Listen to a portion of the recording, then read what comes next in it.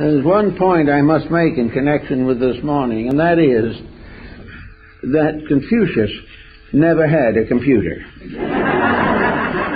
but there are certain facts involved in the life and teachings of this great scholar uh, that might have influence and significance today. Confucius lived mostly in the 6th century BC. We know very little about his life except that he is believed to have originated from an aristocratic but impoverished family that suffered from the numerous civil wars which afflicted China. We do not know that Confucius had extensive formal education.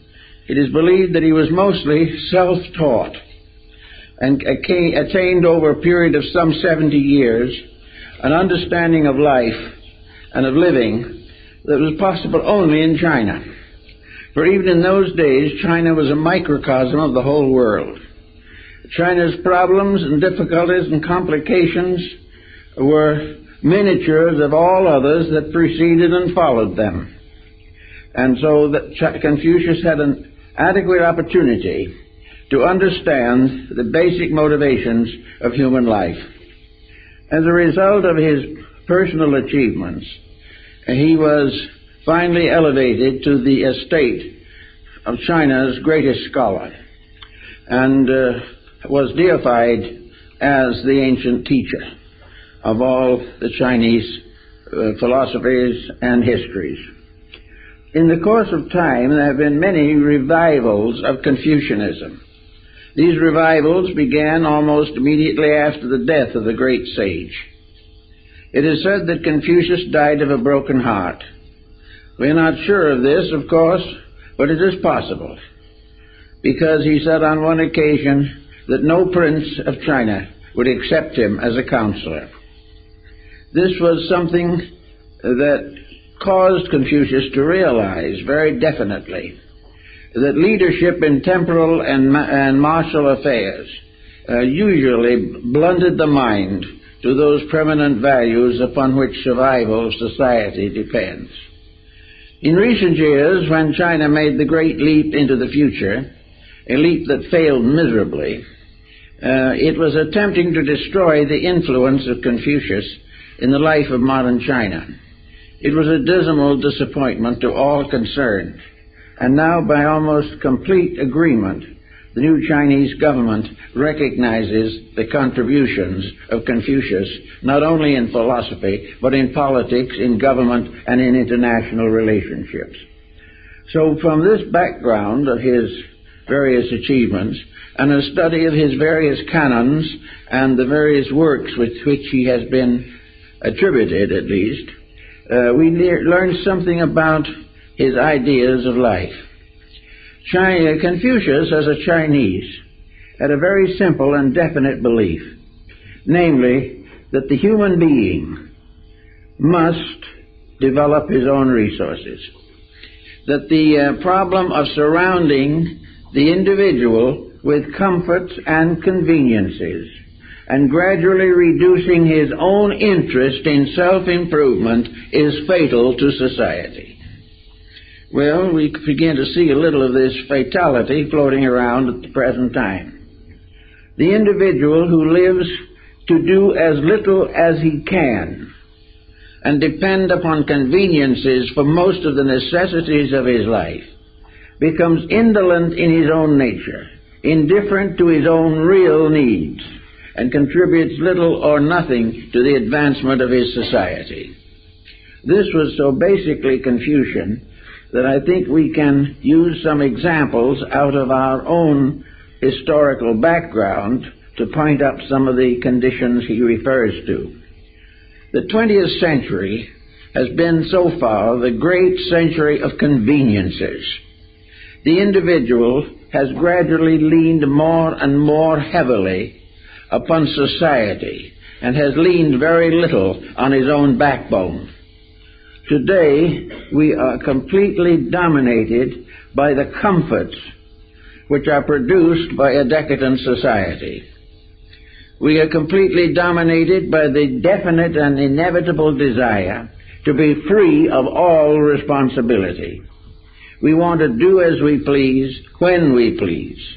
And the idea of cooperation for a common good has become as dim now as it was in China 2,600 years ago. The same attitudes prevailed. The same problems were faced. And the human being always succumbed to the advantage of innovation and convenience. So in the Confucian Code, we could start, for example, with the result of labor-saving devices. Now, most of these devices are essentially good, but nearly always they are destroyed by cupidity or avarice or avarice or extravagance. They are no longer permitted to function as they might have for the general convenience of society. Near the turn of the century, we got the first great convenience, and that is the automobile. Now, no one will say that the automobile basically is bad.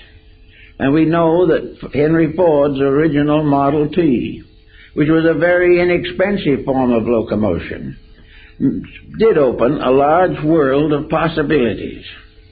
It gave the, the society an opportunity to have adequate means of navigation on the land surface of the earth. But what happened from, from the time of the Model T of Henry Ford, to the Rolls Royce of today, a $160,000 car, there's a great interval.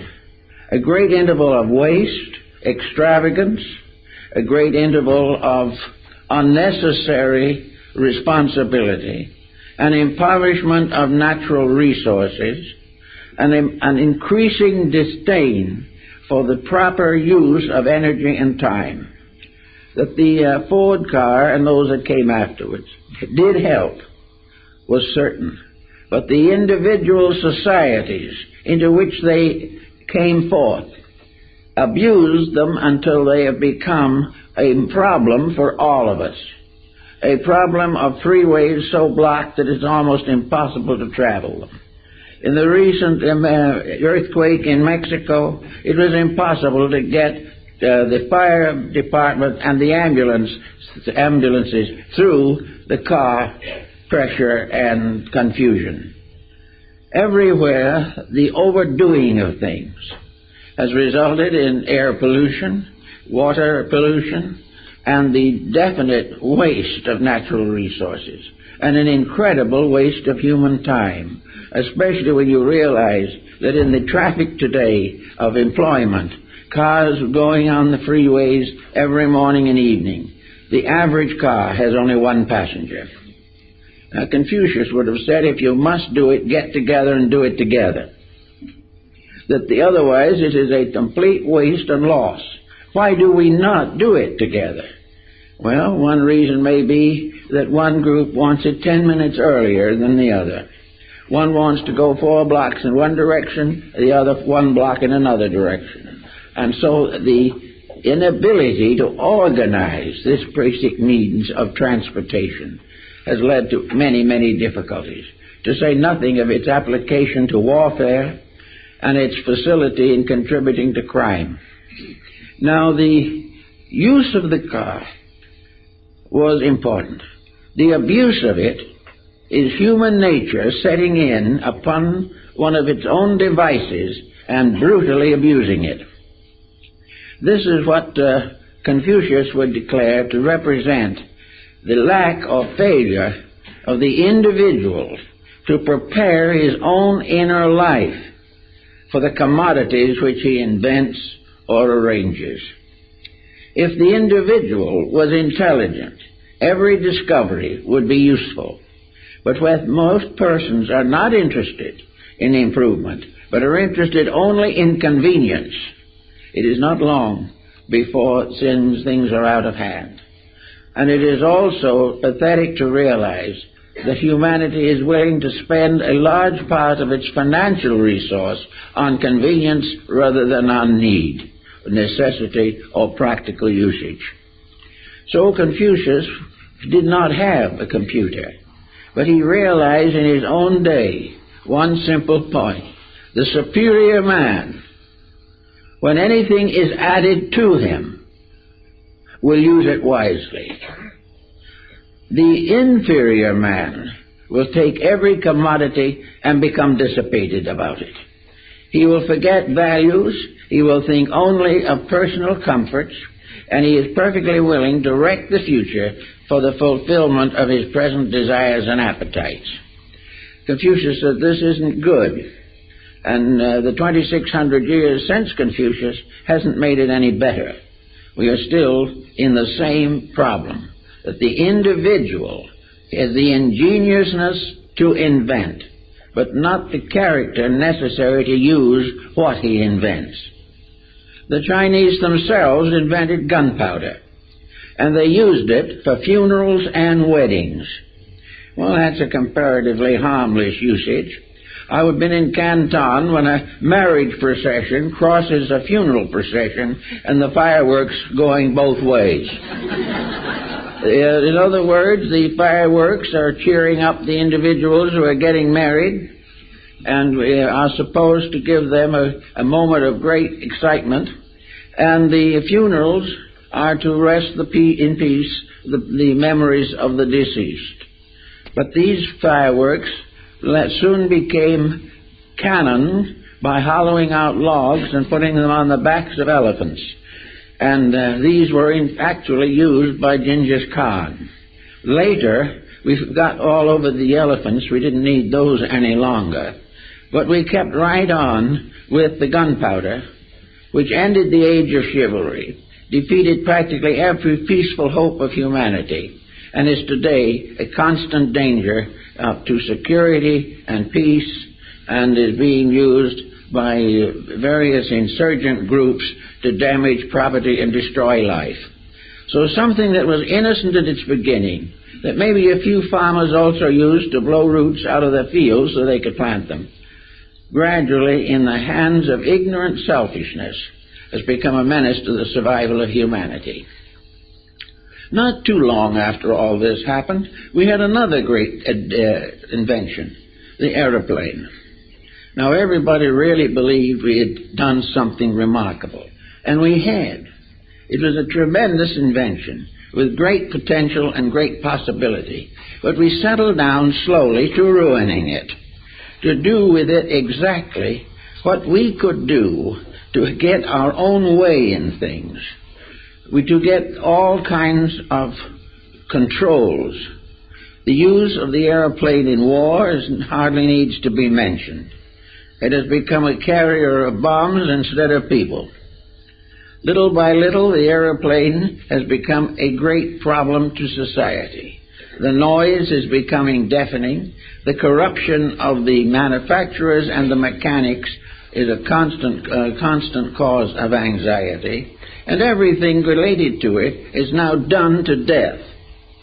Those who have it need it for some occasions. In, the, in Australia, the physician in the outback can get to his patient in his little airplane. There are all kinds of good uses for that. But little by little, it has become a great factor on the big board on Wall Street, and little by little, it has been turned into a vast source of profit. This is a complete misuse of the original intention. And it has resulted in many changes in society and social relationships that are not good.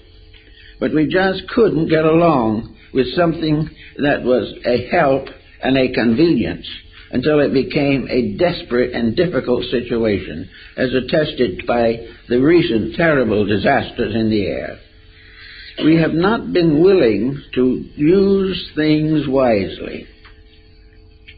When the uh, farmer in Rome found the, bag, the box of gold in his field, he uh, wrote a letter to the emperor and said, What shall I do with it? And the emperor said, Use it. The man said, I wrote again, he said, I don't know how to use it. The emperor replied, Then abuse it. And this is exactly what has happened all the way along the line. And this was happening in the day of Confucius.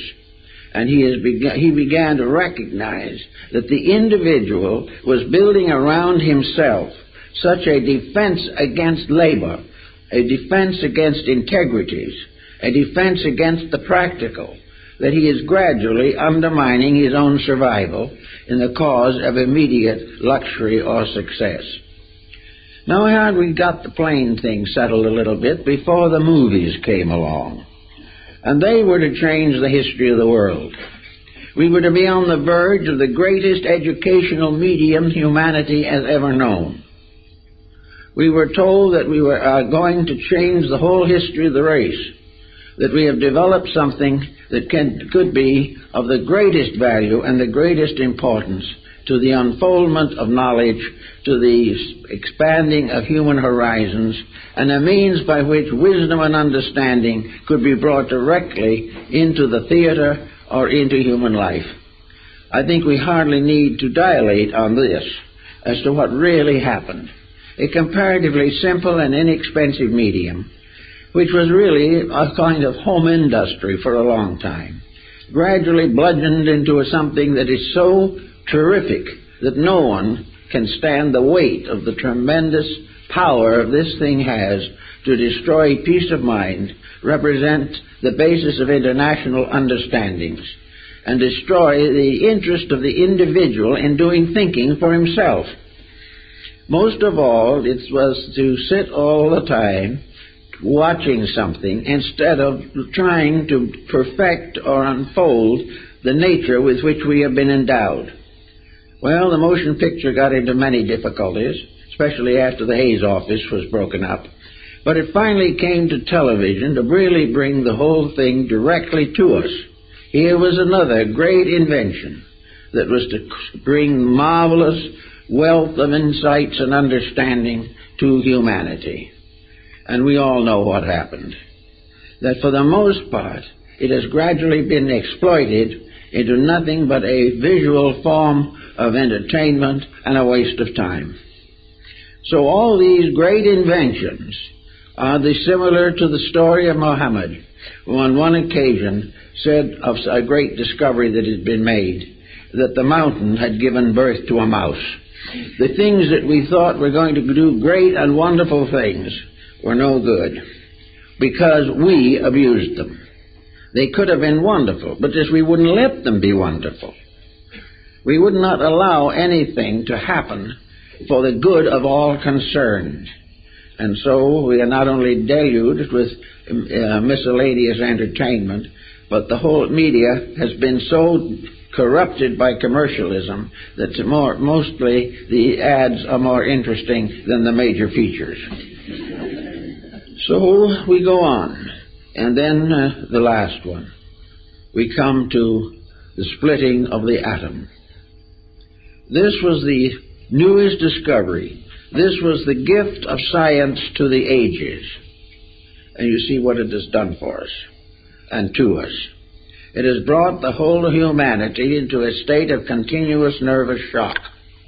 It has destroyed securities, it has corrupted moralities, and has given us a, birth, a birthright of death and destruction. But all these things started out as fascinating, delightful ways of adding to human knowledge and comfort and convenience and protection. But before they reached their zenith, they destroyed the very ends which they were intended to support. Now, Confucius has the answer to this, and a very simple answer which we can all consider that the primary purpose of the human being in this world is to improve himself. He is here to grow and not to become ever more dependent upon society to support him. He is here to learn to stand on his own feet, think his own thoughts, defend his own principles, and unite with others for the advancement of the common good. In other words, Confucius did point out that mankind is a socialized structure. The human being is a creature who needs companionship, needs association, and needs insights and courage and character to carry on the unfoldment of his own life. Little by little, the things we have surrounded ourselves with have destroyed the interest of the individual in his own self improvement. Uh, I noticed in the Taiwan news a few days ago uh, that a Buddhist bishop has retired from being the head of one of the first Buddhist temples in Taiwan. He was subject to some uh, uh criticism, however, because he was introducing computers into the temple. Well, maybe they belong there, but not the way they're generally used. Little by little, we are taking another device and we are gradually going to use it until we try to substitute a machine for common sense, for integrities, and most of all, for growth. We are not interested really in improving ourselves. Our mathematics may not be much better than in the time of Confucius, who, however, was a wise man with the abacus. An abacus, by the way, is an adding machine, multiplying machine, and dividing machine that has never been excelled. And in the banks in Hong Kong, they put them against the electric um, adding machines, and the uh, abacus won in every test. This uh, was because of one thing that would have tickled dear old Confucius very much. It takes ten years to learn the abacus. Now, in other words, by the time you learn the abacus, you had some self-discipline, you have got, gained certain intelligence, you have learned principles and facts that make it possible for you to operate this little device very beautifully. Incidentally, the abacus is available in Hong Kong, but at very reasonable prices, some simple models being only one dollar. And with this, you can add 15 figures to 15 figures or multiply 15 figures by 15 different figures and come up with the answer in a matter of seconds. This is because of your training, not the training simply of a machine that thinks for you. All devices that think for you are open to suspicion according to the Confucian mind. We are not supposed to get substitutes for thinking. We are supposed to develop simplified forms of living that free us for the essential purpose of our own humanity. We are here because it is necessary for us to grow. And when we block this growth with every convenient and commodity you can think of, and finally complicate it with alcohol and narcotics, our purpose here is completely frustrated. The individual passes from the cradle to the grave as a complete loss to himself and a loss to society. There seems to be no reason at the present moment. Now, uh, Confucius was also a bit of a philosopher in his own way. He was a great defender of ethics. He believed that the ethical system was the most important of all. He was also, strangely enough, not a religious man in the obvious sense of the word. He venerated his ancestors, which was a Chinese custom. But most of all, his religion consisted in the development of character. Wherever there is a deity anywhere in space, wherever the universal laws govern things, their greatest accomplishment is to find honest people, to find those who can use new ideas constructively and will take the potential resources of the universe as they know it, and our world particularly, use them carefully, conserve them, realize the importance of understanding them, and perfect ourselves in the skills and courage uh, to make this world an orderly place in which to live. Now, Confucius felt that the more we are deflected from this essential purpose uh, by ingenuity or luxury, we are destroying ourselves and that in so doing, we are turning our world into an unsafe place, that we are endangering the integrities to support the selfishness and acquisitiveness of human beings. Man is not here to accumulate material possessions. He is here to stimulate and unfold the internal resources of himself. Therefore, the ideal of Confucius is set in the concept of the superior man. Now, what is a superior person? Well, Confucius gave a very simple answer to it and probably lived it as closely as any human being could. He said that a superior person is one who is above doing inferior things. In other words, a superior person will not compromise integrities, will not lower himself to abuses of privileges, and will not allow himself to develop habits that are detrimental to his own life or to the community in which he lives. The superior person is one who is above inferior actions.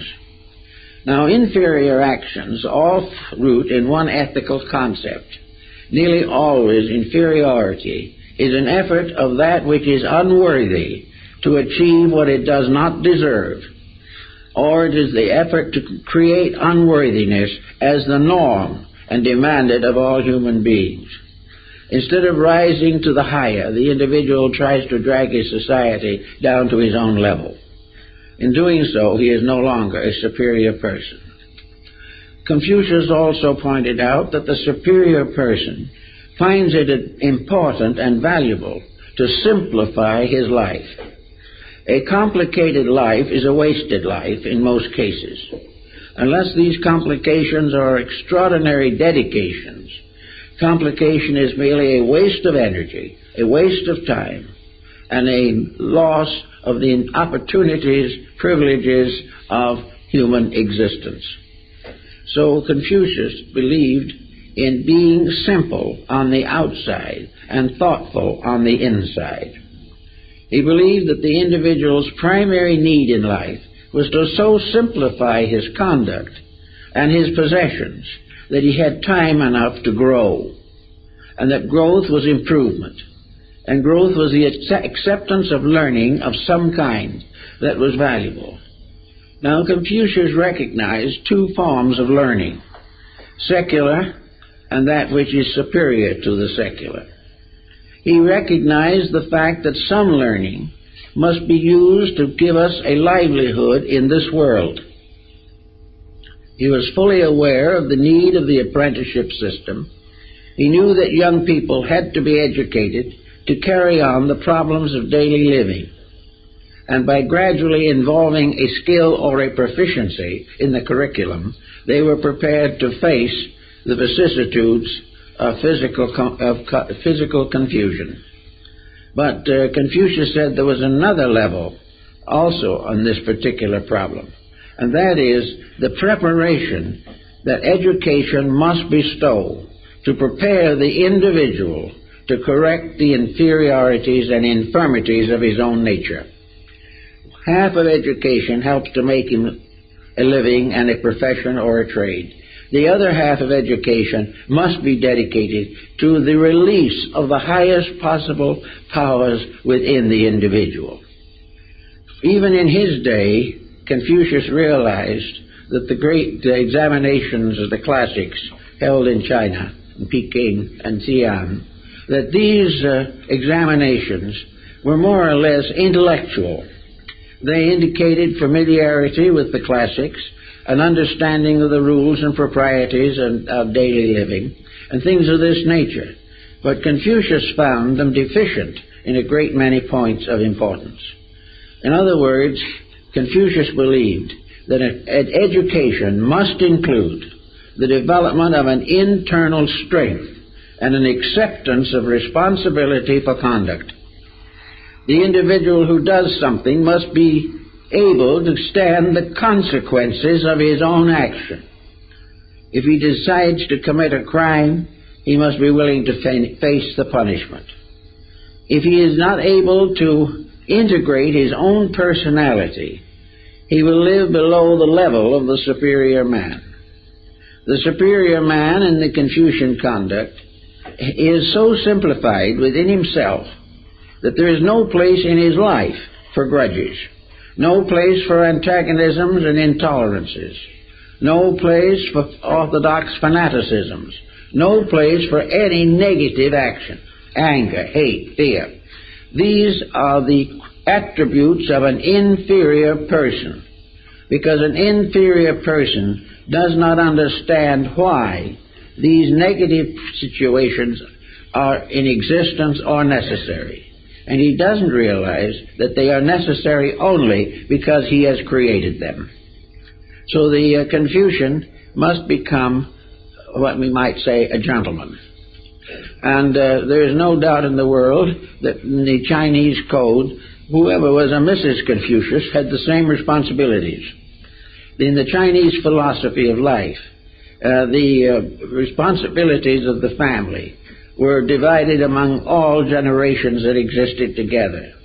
Uh, the, he did not consider the fact that the head of the family had to have a dogmatic or critical or cruel code of conduct because he was one of the first to point out that whatever we do to others should be the same that we would have them do to us one of the 40 different religions and philosophies that stated the golden rule was Confucianism. Confucius said, Never do to anyone else what you would not have them do to you. Now, this brings together a whole group of factors. Supposing we are cheated, supposing we are deceived, supposing we get into all these difficulties. Well, I think Confucius would first say, Why are you in these troubles? What was the ignorance in yourself that got you into them in the first place? Did you do something that was unwise?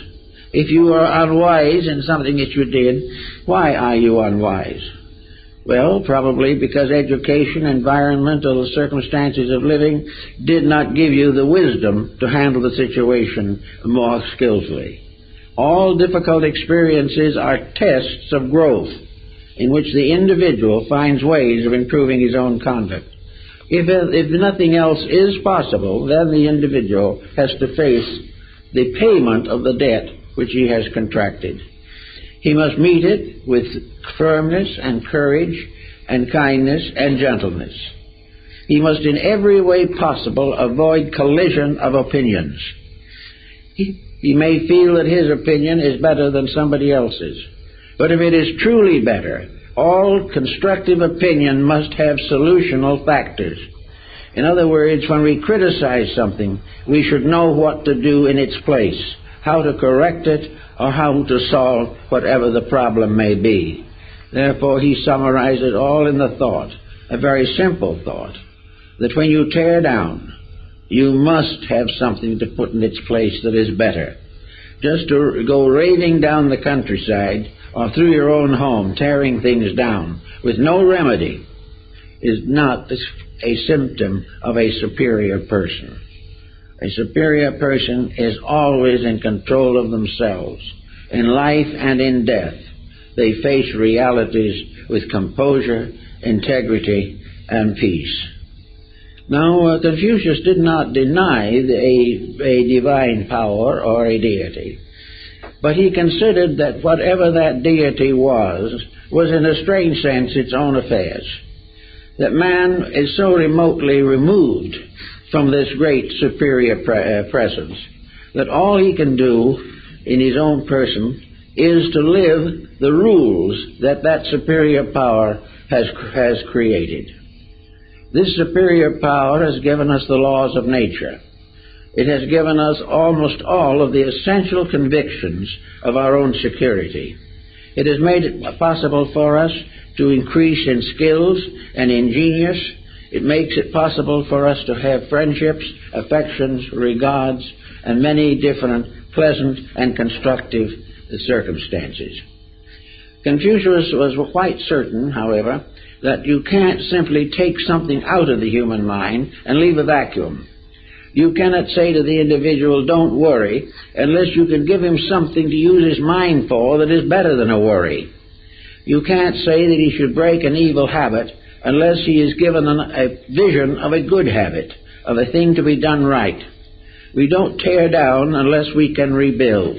And Confucius was very much of that mind.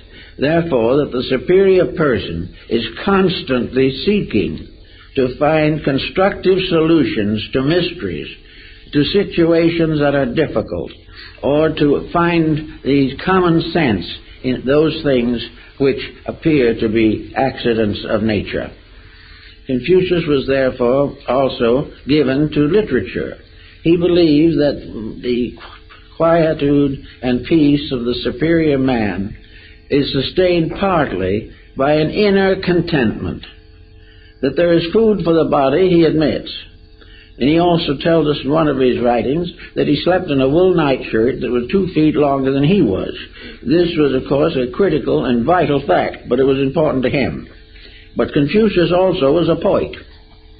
He loved to read good poetry. He liked to study the classics. He liked to, he liked to know what other people were thinking. He was able to sit quietly and listen happily to people who disagreed with him. He did not demand a private universe ruled over by his own convictions. What he was trying to do was to build within himself a character strong enough to face the truth without flinching. And when he found uh, or came very close to being in that condition, he, he discovered that when you face the truth, there is really no need to flinch. It is not something desperate and difficult. It is simply something the individual has, has ignored in order to live less than he needed to live. The, uh, the better life is not something that is of great hardship upon character or time or energy. It is really the simplification of all things. What, of course, if you simplify the life of the average person today and take away from him everything he doesn't need, there's not really much left for him. He is practically bankrupt as far as values are concerned. The only thing that is keeping him alive is his, is his own mistake, whatever it may be. He is struggling from one day to another through the difficulties he has set up for himself. Well, in some cases it seems impossible for it to be otherwise. He's not going to get rid of the difficulties always, because the difficulties arise around him as well as within him. But the way he reacts to difficulty is always a private property of his own. He is able to do that which he is strong enough and wise enough to do. And the uh, ethical side of his uh, life was to Confucius a balance of philosophy and common sense. Of all the philosophers of antiquity, he was probably the most realistic. He was the one who was not given to, to strange visions or distant beliefs. He believed in a world in which there was work to do, and somebody had to do it. And unless people began to do the work better, the world was going to get worse. Now, he was more or less justified, because in the 2600 years since he was with us, the world has been in pretty poor shape most of the time. In other words, as one wise person remarked, history as we know it is very largely a long drawn out story of human failure the uh, good things uh, were minimized. The great, the truly great people were martyred, forgotten, or ridiculed. And the world went right along making the same mistakes from the time it first threw a rock at someone until the day when he now wants to throw a rocket at them. It's the same thing. We haven't gotten down to facts.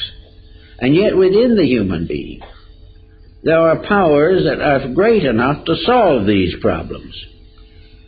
The human being who could invent a computer could also have an understanding of its proper use.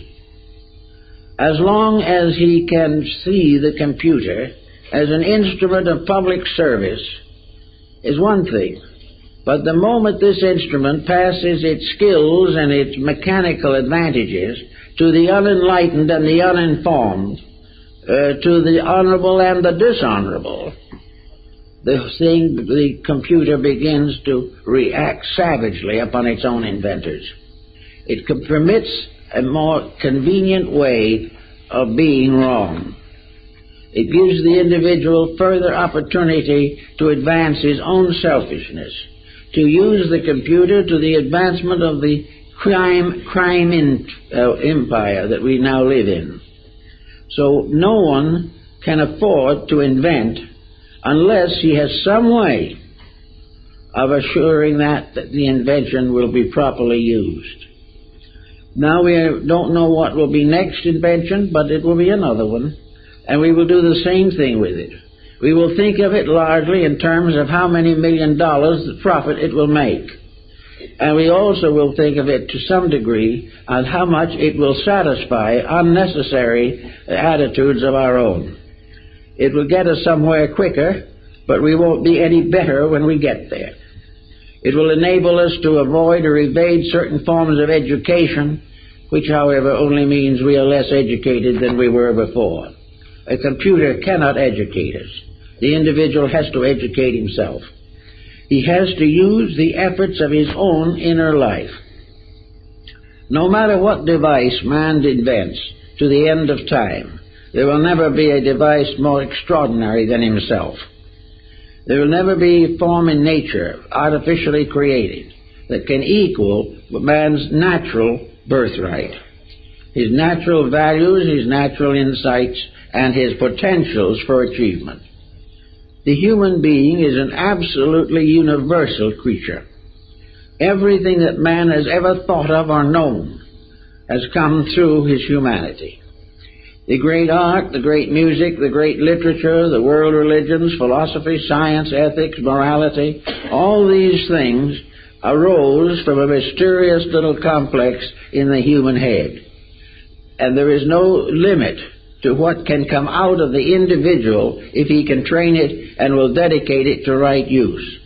If, however, the individual does not use wisely that, what, that which comes out of his head, in a short time he will perish, and the achievements that he has made will go back into the earth with him. Everything that man learns gives him a new insight into value. Now, young people today are bankrupt for value. They are surrounded by selfishness. They are part of a system of high exploitation. And every direction that the individual looks, there is some kind of corruption or shortcoming. This makes it very difficult for the individual to really achieve to the integrities that are necessary. In another strange way, this was true in the days of Confucius. He lived in a world that was full of antagonisms and petty ambitions. China was not a country or a nation at that time. It was a mass of little feudal principalities ruled over by despots and tyrants who loved to take over their neighbor's property and murder anyone who tried to interfere. It was a period, a time of war, strife, sedition, corruption. Yet with it all, it produced two great persons who were contemporaries, Lao Tzu and Confucius. There's a story that they, they met, but this may be apocryphal. We're not absolutely sure about it. Confucius admitted that he could never understand the strange, vague spirits that moved in the clouds in behind Lao Tzu. To him, Lao Tzu was a mystery, unsolvable. On the other hand, Lao Tzu, facing Confucius, found in him a level of insights or understandings which were incapable of gaining the insight that Lao Tzu himself believed to be necessary. In the end, Lao Tzu uh, is pictured with riding on a water buffalo off into the Gobi Desert because there was nobody that wanted what he had. And the last words of Confucius were, I have failed. So this is what happened 25 centuries ago.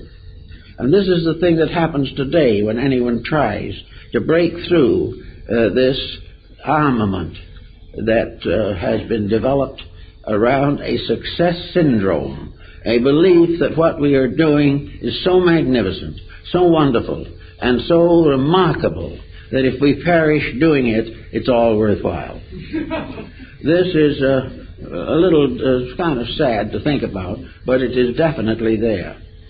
At one time, Plato also wanted uh, to reform the Athenian state. He had the background as family that he could be an archon or an elder of Athens. He tried it and retired immediately on the grounds that it was impossible for him to accomplish the good necessary to make the Athenian state a better and more honorable place. Therefore, he retired into the academy and lived there for the rest of his life, creating a little empire of his own in which his disciples began, began to understand what he was trying to accomplish. So Confucius, in his way, was one of those who, uh, to borrow the words of President Woodrow Wilson, who said it was better to, to fail in a cause that must sometimes succeed than succeed in a cause that must certainly fail. Today we are all in this problem. It is better to do the thing as right as we can do it, knowing that in the end right triumphs, and that every step that is taken in the right direction becomes part of man's heritage of wisdom. And there have been many very great dedicated hearts and minds that have given us wonderful insights and wonderful instruction. But most of these we don't pay any attention to. Our reading now is usually in sensational paperbacks. It is punctuated here and there by a new idea. Some of those ideas are good and some only complicate the situation. But anyway, the human being quietly has to recognize that none of these things need to move him. He does not need to be wrong because being wrong is fashionable. He doesn't need to remain ignorant because wisdom looks like a responsibility. He does not need to neglect his inner life in the desperate order, offer or tra- effort to become physically opulent and successful. How we got the way we have is difficult to imagine because the truth of the thing is so obvious. And of course, the simple answer to the whole business is that success for most persons has to end at the grave. All the things we have piled up here, we simply leave to our relatives or our descendants to haggle over. We cannot take with us anything except, if something, what we have achieved internally. We are supposed by nature to leave this world a little wiser and a little better than when we came in. If this is a failure, if we do not know more on our deathbed than we did in the cradle, then we have failed. And that is the problem. In fact, it's worse, because the, when we were children, we only knew or were only ignorant, simple ignorance. Whereas as we get older, to follow the Confucian adage, we come to the time when we know not and know not that we know not. Instead of being simply ignorant, we become compoundly ignorant. that is, we have reached the point where we not only do not know the truth, but have accepted so many things that are untrue that it's almost impossible to extricate our mind from the dilemma. So actually, the problem of making something out of life is not as difficult, dangerous, or terrible as we might think. It is simply a matter of building internal value. Now, at the beginning, it will probably be a bit sketchy. We're not going to start in by being stupendously enlightened.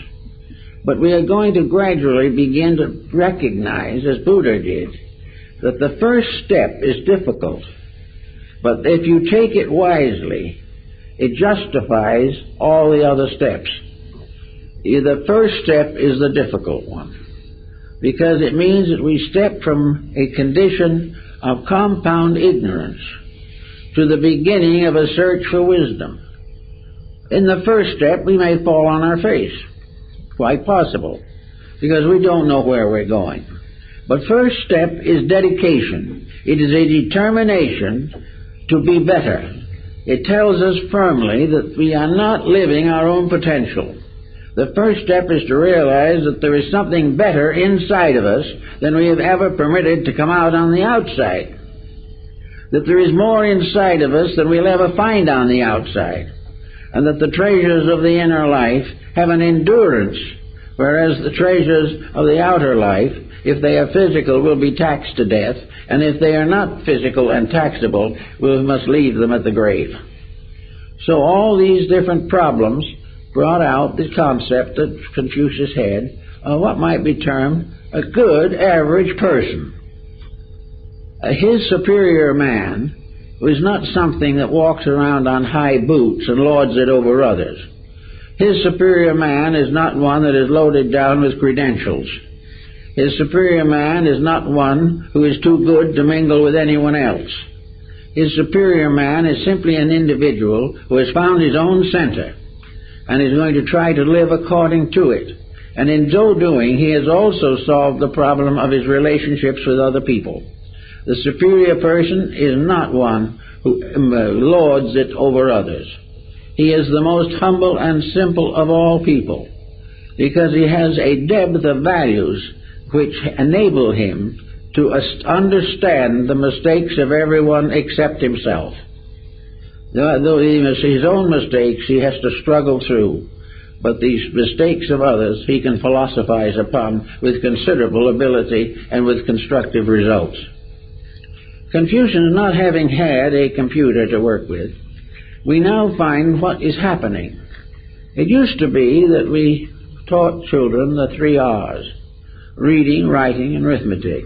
In those days, we spelled arithmetic with an R. Uh, these uh, simple facts were very awesome when you started out. Uh, the multiplication table looked desperate at first, but it gradually took common shape, and first you know, we were able to add up grocery bills with comparative convenience. Little by little, education taught us things. It taught us to learn certain things. An education in contact with other people brought out certain points that were valuable.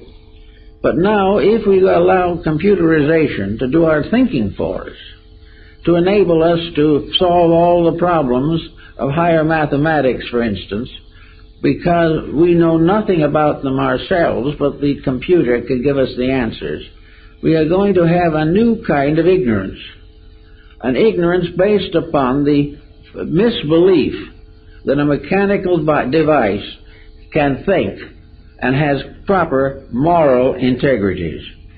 The problem of the computer will be its lack of morals.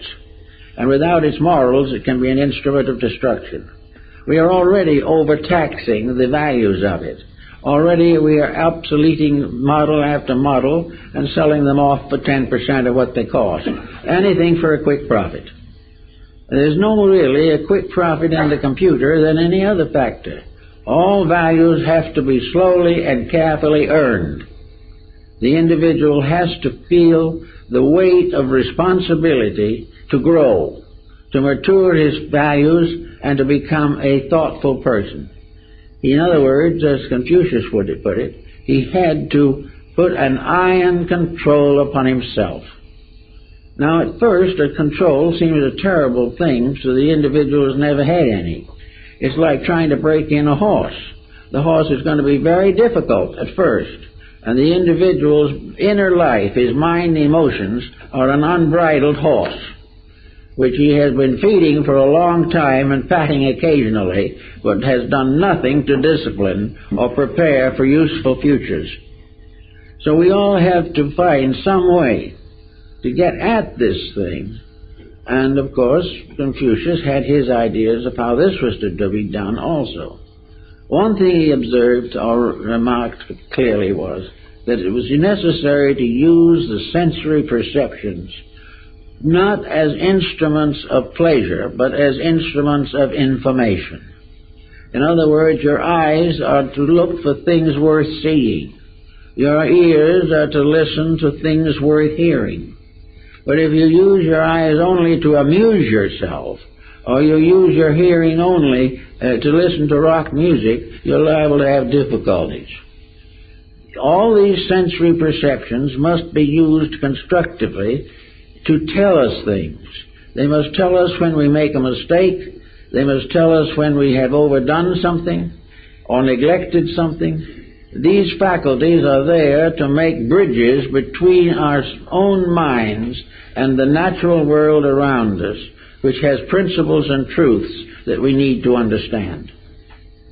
So we simply use these faculties not to surfeit them, not to indulge them, not to fall into a sort of intoxication of the mind, but to strip it of its superficial um, addictions and not like it into a very definite program of purposed growth. This we have to do, or else we will go out of this world as we came in. And that is really too bad because it's, and according to Buddhist philosophy, it merely means we come back with a heavier load of karma than we should. We should be paying karma, not making it. We should be getting over the sins of the past rather than trying to carry them joyously into the sins of the future. We need to understand life. Now, Confucius was not a dour character. He wasn't one of those old wise men who looked very difficult to know or understand or contact. He apparently had a wonderful sense of humor. And he was also given to divination and things like that. He wrote an elaborate commentary on the I Ching, which was one of the best that was ever written and is still included in most of the Chinese texts. He was interested in everything. And he also had an, a, realize, a realization that the sciences were instruments of divination. Even reading, writing, and arithmetic have a magic in them. The magic of what they do to the mind, helping to strengthen it and, and develop it. The individual who does not care about developing the mind is going to have sickness, he's going to have broken homes, he's going to lose his job, or stay on a very mediocre level as long as he lives. Now in Switzerland, for example, the uh, Tibetan um, uh, people who have been thrown or cast out of Tibet or have escaped as best they could are now fitting themselves into the life of Switzerland and are doing an extraordinary job of it. The young Tibetan children are now attending uh, Swiss schools. And according to records published recently, most of those Tibetan children although they came from another land and have had to learn a language. Most of those children are at the head of their classes at this time. Why? Because their ancestry taught them that to learn is a privilege. Their background warned them of the importance of developing disciplines and strengths and to adjust to realities and to prepare to live in a, in a constructive manner in a strange world that far from the one they've left behind. It was simply a matter of these young people having brought from Tibet with them an integrity which has not yet been destroyed. An integrity which makes a reason for what they're doing. They are grateful for the chance of learning. Most of our people have a tendency to resent the responsibilities of learning. To them it is a bondage, and many of them feel that is justified because the type of learning they're get, getting is not what they want. Well, there are two sides to that coin. One is that they're probably right in much, many of their conclusions. They're not getting the education that they should get. But on the other hand, they are getting an education such as it is, much of which they need, regardless of its ineffectiveness. To reject the education we have does not mean that they have found a better one. And there's where the problem is. It means simply that they renounce education per se. They just walk out of school and become dropouts. If some of them are geniuses, they will win anyway, because you can't stop the mind that has already begun to think. But for most cases, they have damaged themselves. Whereas if they'd had at least a good psych, a good grammar school and high school education, they would have trained the mind into some kind of discipline if it was only memory. They have put some responsibility upon their own thinking. They've had to give up a few, a few foolish notions in a desperate effort to make an education support them. This is something. It is not perfect. It is not right. But it is what we have. But these same young people who have gone through this kind of discipline are ready for other discipline. And they can do what most wise people have found namely that education really begins after you have graduated from school. Until then, you are limited by traditional superstitions for the mores that you cannot do much about. Confucius, therefore, gave us the model of what he calls the right kind of person. This right kind of person is, is a homebody. The world begins in the human home. And according to Confucius, all of the relationships of life expand from family. The home is the one little island of integrities that can be established with some success by persons who are simply dedicated to kindness or uh, understanding. The home becomes the, the basis of all knowledge. The home is made up sometimes of three or four generations, but all of these have their common understandings. Each one has its proprieties and its properties. The, the heads of the family will not badger the younger ones simply because they have authority. And the younger ones will not badger their elders because they do not like to be badgered in their turn. Everything is upon proper dignities. Every courtesy of life should be in the home. Confucius was bitterly opposed to the idea of behaving yourself in public and doing what you please in private. He didn't consider that a very good way of life. But upon the basis of the home comes the training of the children. And the child's mind is set by the time it is eight or ten years old. By that time, children divide into two groups. One group composed of those who want to get out of the home as quick as possible and do not care what happens to them. And the others who have been inspired to improve their lives and either to emulate the virtues of their ancestry or else stand firm against the vices of those around them. So the child becomes the basis of the empire. The neglect of the child is the most desperate evil in the world, according to Confucius. He said that where we do not give the children the proper background, we are, we are crippling the adult. The ruts we set in the mind by our own attitudes and the, and the false opinions which are set there in very early life are almost impossible to eradicate. They are gullies and valleys and cliffs and precipices in the mental structure which become a detriment to all constructive thinking. So, and after the beginning of it, so says Confucius, the family has also a worship. A worship is a kind of respect. To Confucius, veneration is respect, and it has to be earned and it is the privilege and right of every individual to be respected, but he has to deserve it. So Confucius pointed out very definitely that in the home, every dignity, every propriety, every integrity that we would like to see applied to society is being cultivated and practiced. That the home is not a place in where evils are practiced in secret, but where virtues are practiced both secretly and publicly. So the home is very, very important. An intelligent home is the strongest factor in the survival of a nation or a civilization.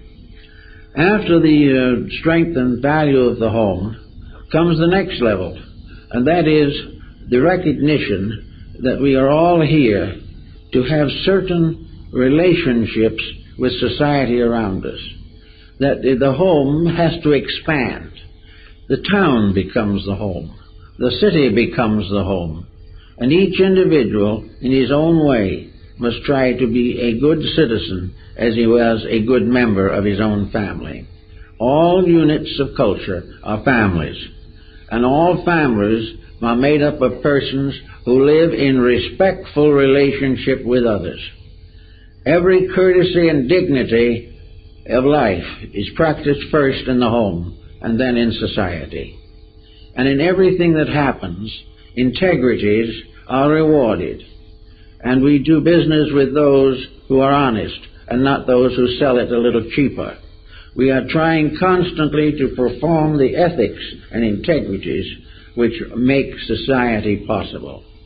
And from there on, we have duties to perform we had the Hindus brought over into China certain concepts of duty, and these were taken in by Confucius, Mencius, and Lao Tzu. These duties are the duty of the family and the householder. The individual who has been raised and lovingly cared for in a good home has a moral duty to become a parent in his own turn. It is not uh, the idea that uh, the child uh, must always be grateful to the parent. It is that the parent must in turn become a parent. The child cannot pay the parent, but society can. And all these different values become very, very important in society. So that uh, if the individual was given a childhood and a loving care, and when he was helpless, was helped through emergencies, when that individual grows to maturity, he has his own family, and in that he pays his debt. He pays it not to those above him, but he pays off by carrying forward the, the better levels of thought and action. He rewards his parents by disciplining his own children in their own turn. So that there is a reciprocity in all these things.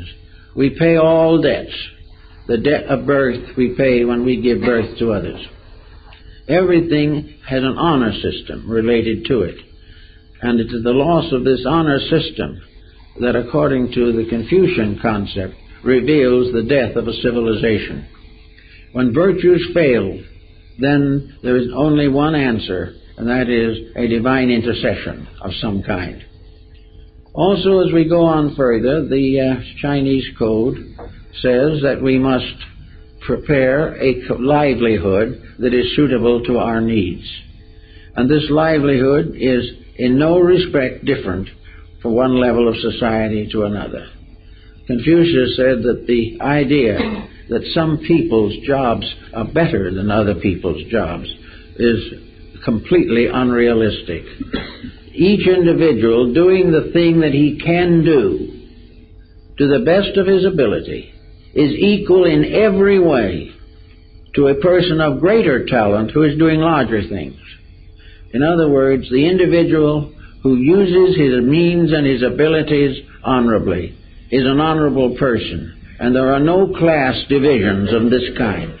There are only two kinds of people those who are doing it right and those who are not doing it right.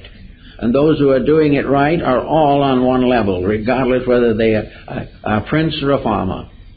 Those who do it wrong are also all on one level. Whether this wrong is small or large, they will ultimately have to pay for it. So, so, Confucius was completely socialistic and democratic in his thinking. He did not feel that the mandarinate, or whatever was its equivalent in those days, the gentry, was privileged to consider itself a better kind of being. There is only one kind of betterment, and that's self-improvement. The individual who knows more and serves better and gives with a greater joy to the needs of others, that is the superior person and all who are doing the best they can are superior and have the same values, the same recognitions, and the same rewards. The idea that some honest work is better than another is untrue. Very often, that which is not particularly pleasant is the most important work of all, and those who give themselves to it earn a great destiny. After they went on a little further, then there does come the question as to what to believe. Well, how are we going to judge or believe the world around us, or what we might term the world within us? Confucius, of course, joined with many of the other ancient peoples of the world in a kind of ancestor worship. Now, we consider this completely unreasonable and worthless, perhaps because most people have ancestors they don't feel like worshiping, which is uh, not unusual in these times especially. But Ancestor worship in China and in many other countries is living up to something, not down to it. Uh, the individual regards his parents as a kind of superior virtue. If they've gone forth into the other life, they then become symbols of a continuing devotion which is not interfered by, with by death. The parent becomes an image the parental image of integrity. Now, the moral effect of this is quite interesting and has more values than perhaps we would first believe. A, per, a Chinese person who commits an evil action, either treason or bribe, bribery, robbery, violence, or anything of that kind, is not really just destroying his own character. He is humiliating his ancestors. He has failed them. They have given him a good life and he has ruined it. They have given him the potential of great achievement and he has betrayed them. And from somewhere on the other side of life, these ancestors are sad. They are broken-hearted to know that one of their descendants has committed evil. So that this becomes, in a sense, a strange persuasion against it if you believe that your ancestors can know about it. Now, the other side of the coin is also just as difficult. If you have committed an evil act, this disgrace goes on to your children. Your whole family line is deformed. It is betrayed. The, the children have to accept the fact that their parents were not virtuous, that they were the progeny of an inferior code of life. So the child is humiliated unto the ninth or tenth generation by the crime of this one person. And the ancestors are humiliated back to the beginning of that family. Well, with this moral suasion uh, behind a people who believe in it, you can see why it might have quite an effect upon the integrities of life. It certainly makes the person a little slow uh, to feel that he is disgracing all who have gone before and all who are to come, in addition to disgracing his present family and all those who understand what has happened. So that ultimately the human being who does a wrong deed is disgracing the entire human family.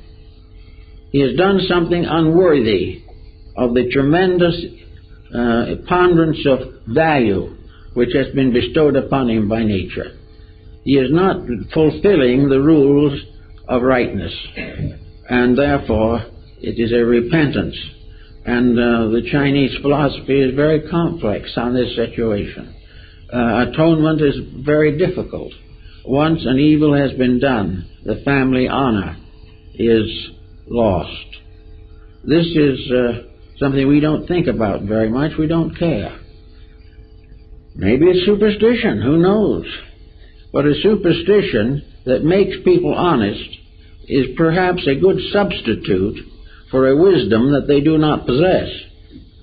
It helps to fill, to fill an, a vacuum with an area of material factors the average person understands.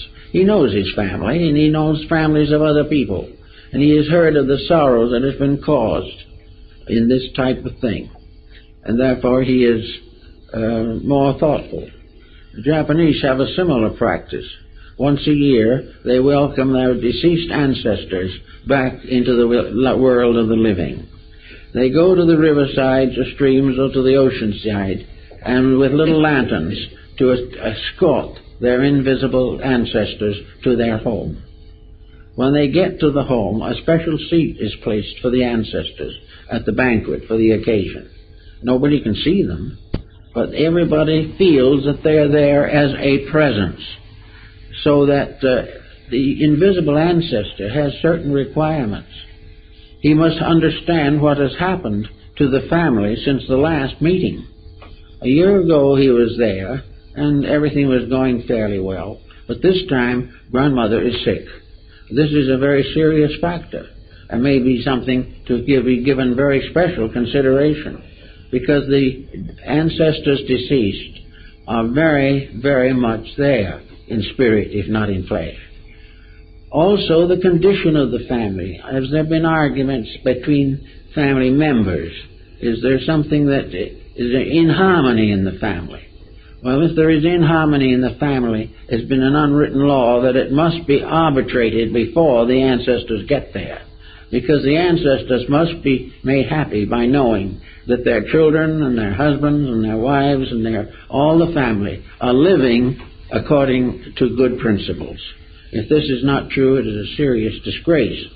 One other thing, which perhaps has a little more vital significance, is that all ancestors are very unhappy if a family is in debt.